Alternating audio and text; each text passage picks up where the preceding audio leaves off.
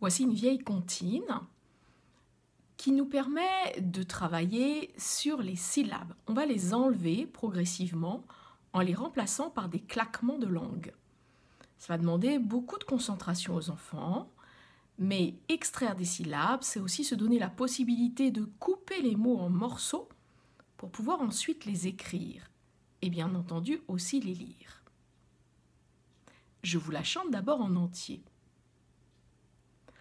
L'autre jour sous un marronnier, je suis allée me promener. Les moustiques m'ont piqué, j'ai dû quitter mon marronnier.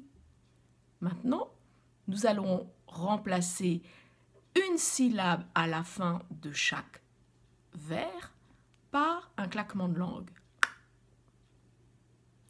L'autre jour sous un maraud, je suis allée me promener.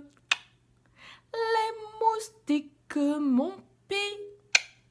J'ai dû quitter mon maraud. Et maintenant, nous ôtons deux syllabes à la fin et nous les remplaçons par deux claquements de langue. L'autre jour sous un mât, je suis allée me pro. Les moustiques m'ont. J'ai dû quitter mon mât. Et on continue. On en enlève trois. L'autre jour sous un, je suis allée me. Les moustiques